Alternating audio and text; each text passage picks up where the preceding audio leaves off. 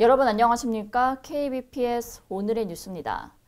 용인시가 지역 주민들을 위한 복지 증진에 앞장서고 있습니다. 지난 2일 용인시 처인구 모연읍에 다목적 복지회관이 개관한 것입니다.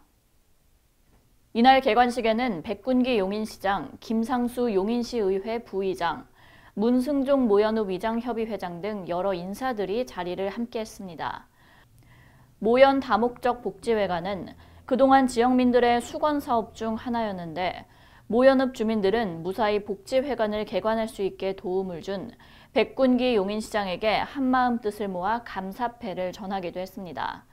백군기 시장은 복지회관이 개관을 통해 주민들을 위한 다양한 프로그램을 개설하고 관내 복지 향상을 위해 앞으로도 힘쓰겠다고 소감을 밝혔습니다. 지금까지 KBPS 최민아입니다.